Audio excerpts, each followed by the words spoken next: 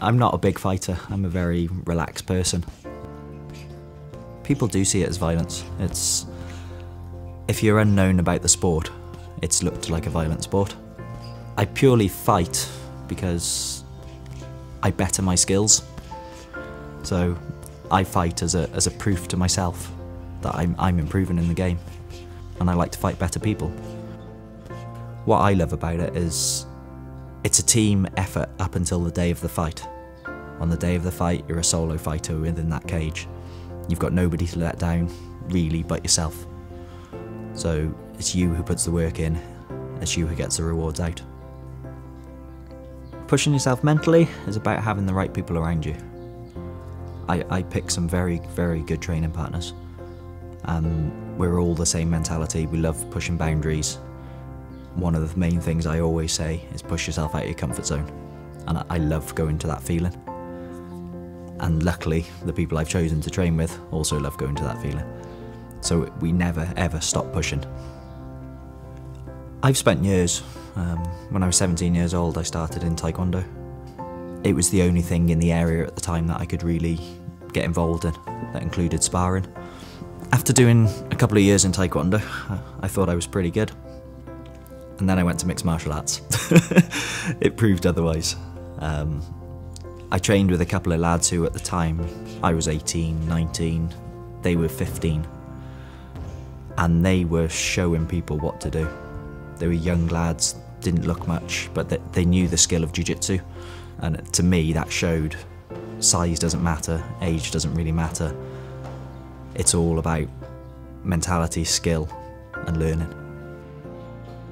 The last week coming up to up to the fight, um, do some nice pads, just feel fast, feel explosive. Um, when you're at that stage, you feel at your top.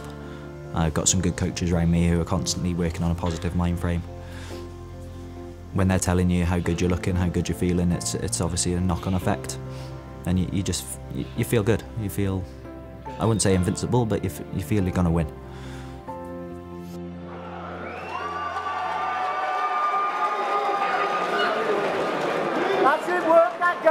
Where you're going. Go go go work. At the time of walking into the cage when your name's called, that's the only time I start to feel I'm in a situation here. I'm in a fight. I actually quite like the feeling. It's a mixture of emotions, adrenaline. It's pressure, but a good pressure. The only people I tune into is my corner's voices. Mick and Rich. They're the only people who I can hear when I'm in that cage. He must have studied me, understood that I fight left-handed. That threw me a little bit to start with. And then he caught me with an inside leg and groin shot. That down a couple of minutes. And then he, he, hit me with a hard, straight through shot um, and broke my nose. Um, I felt it break straight away. He hit me hard, I saw stars. Luckily, through experience and training, we're put under these sorts of pressures. I knew what to do, I dropped, managed to get the takedown, but that's all down to training, hard training. I was laying on my back at one time, swallowing blood, thinking, what am I doing here? But you just get on with it. Pure mental attitude, never give up. I wanted that belt. I was going to get that belt. I wouldn't give up unless he was going to either break something or put me down. Permanently, I was not giving up. I rely a lot on my cardio.